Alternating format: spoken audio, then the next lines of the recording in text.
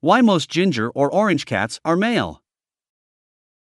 Have you ever wondered why the majority of ginger or orange cats are male?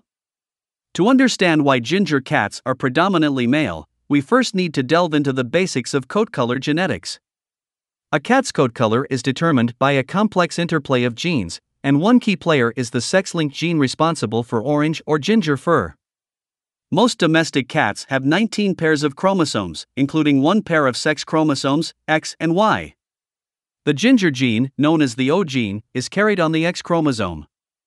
This gene codes for the production of orange pigments in a cat's fur.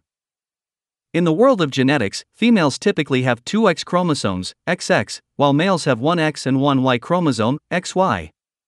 Since the ginger gene is located on the X chromosome, this means that a male cat only needs one copy of the gene to express orange fur.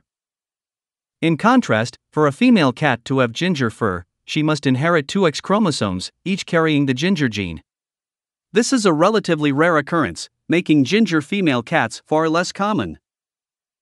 You might be wondering about calico cats, which often have a mix of white, black, and ginger fur. In the case of calico cats, they possess two X chromosomes, but one of those X chromosomes has the ginger gene while the other carries different color genes. This leads to the distinctive tricolor pattern we associate with calico cats. The inheritance of coat color is also influenced by random factors, as the genes responsible for coat color aren't the only ones involved.